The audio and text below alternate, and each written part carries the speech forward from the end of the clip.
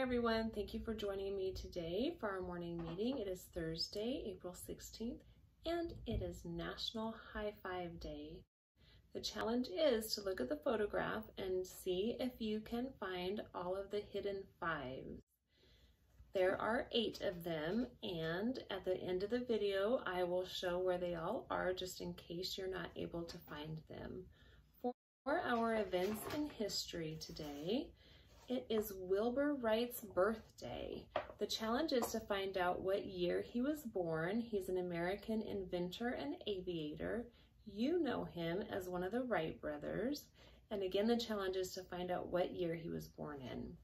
In 1972, the Chinese giant pandas arrived at the U.S. National Zoo. The challenge is to find out what city and state the U.S. National Zoo is located. In 1988, residents of Fort Madison, Iowa were amazing because they raised $12,383.06 in pennies. In pennies. And they raised it for a playground. So the challenge is for you to think about what would you like to have in your neighborhood or your school and how many pennies would it take in order to get that. For our motivation today, it comes from 365 Days of Wonder, and it comes from Ziggy. That is a challenge to find out what or who Ziggy was.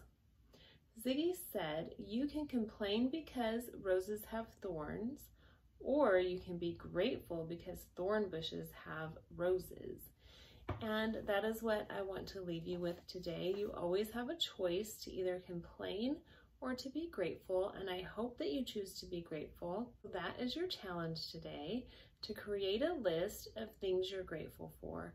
And I hope your list is long. It should be because you can always choose to be grateful and you'll be much happier if you do that.